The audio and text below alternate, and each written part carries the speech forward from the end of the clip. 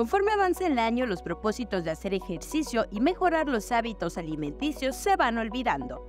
Y es que al no haber cambios radicales en poco tiempo, las personas desisten de su objetivo, sin tomar en cuenta que más allá de una cuestión estética, la importancia de un estilo de vida saludable radica en los beneficios para la salud.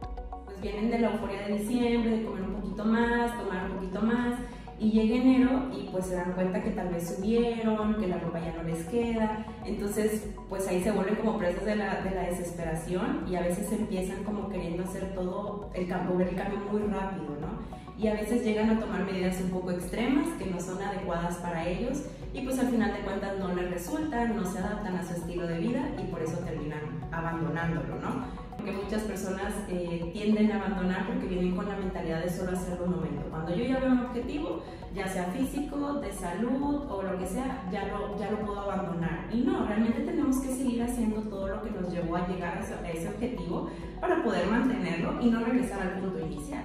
La paciencia y no caer en los productos milagro son claves para que una persona pueda mantener un estilo de vida saludable.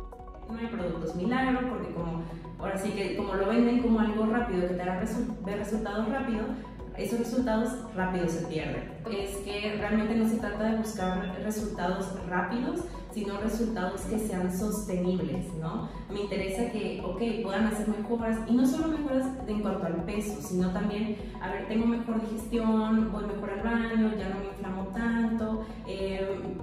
colesterol, triglicéridos, mi glucosa han disminuido y los se puede sostener, no tengo picos, eh, puedo salir y comer sin remordimiento, puedo regresar a mi plan de alimentación. Acudir con especialistas como nutriólogos y entrenadores certificados también abona que las personas puedan cumplir con sus objetivos.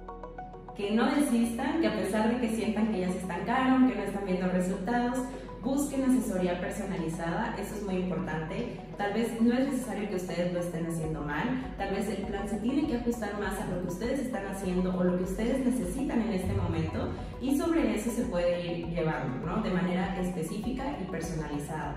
Si queremos hacer la dieta de alguien más, no se va a adaptar a, a nuestras necesidades y nos va a hacer que no veamos los resultados esperados. En Chiapas, la obesidad tiene una prevalencia del 62.3%, mientras que el sobrepeso de 77.5%, por lo cual ambos padecimientos representan un problema de salud pública. Para Alerta Chiapas, Rubí Zúñiga.